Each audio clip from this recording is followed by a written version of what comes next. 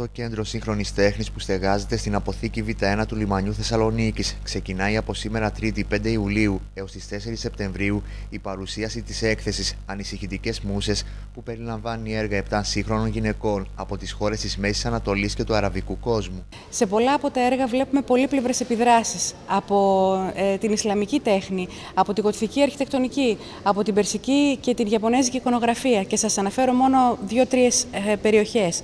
Επίσης, βλέπουμε και πολύ διαφορετικούς τρόπους έκφρασης καλλιτεχνικής. Για παράδειγμα, φωτογραφία και κολάζ από τη Λάρα Μπαλάντι. Ε, υλικά όπως ένα χαλί από την Μόνα Χατούμ και ένα τραπέζι καθημερινής εγκατάστασης. Ε, ε, βίντεο από τη Ζινέπ Ζεντήρα, performances από τη Μαχίντα Κατάρη και καταπληκτική ζωγραφική από τη Χαΐβικα Χραμάν. Είναι μια έκθεση ανοιχτή σε πολύ διαφορετικές ερμηνείες και θέλει να υποστηρίξει ακριβώς αυτή την υβριδικότητα της ταυτότητας. Το γεγονός ότι δεν είναι μονοσήμαντη. Το να λέμε απλά γυναίκες αραβικής καταγωγής περιορίζει σε πολύ μεγάλο βαθμό και την αξία τους και τη συνεισφορά τους στη διεθνή σύγχρονη τέχνη. Στην έκθεση είναι έντονο το θηλυκό έως φεμινιστικό στοιχείο, όπως και τα βιώματα των γυναικών αυτών που αναγκάστηκαν να απομακρυνθούν από τον τόπο καταγωγής τους και να εγκατασταθούν παροδικά ή μόνιμα σε χώρες του δυτικού κόσμου.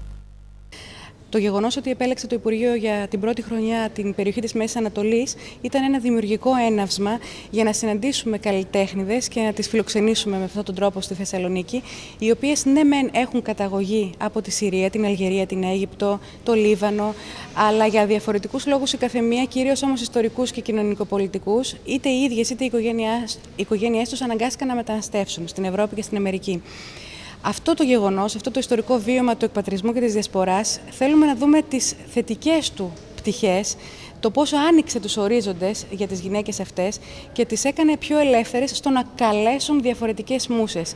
Με τον έναν ή τον άλλον τρόπο, μέσα από αυτά τα έργα οι καλλιτέχνες μιλούν και για τα προσωπικά τους και οικογενειακά βιώματα, για τους περιορισμούς που επιβάλλονται λόγω θρησκευτικών παραδόσεων, λόγω πολιτισμικών ε, καταβολών στην έκφραση της θηλυκότητας και για τους τρόπους με τους οποίους ξεπερνούν και διαχειρίζονται αυτές τις κοινωνικές ε, και πολιτικές και θρησκευτικές διακρίσεις που έχουν βιώσει στο παρελθόν. Σω γι' αυτό ακριβώς, επειδή υπάρχει ενσωματωμένη η εμπειρία της καταπίεσης και της διάκρισης λόγω φύλου, ίσως έχει περισσότερο νόημα να μιλάμε για μια φεμινιστική ή τέλος πάντων ε, ε, προσέγγιση σε σχέση με την έμφυλη διάσταση σε αυτές τις γυναίκες.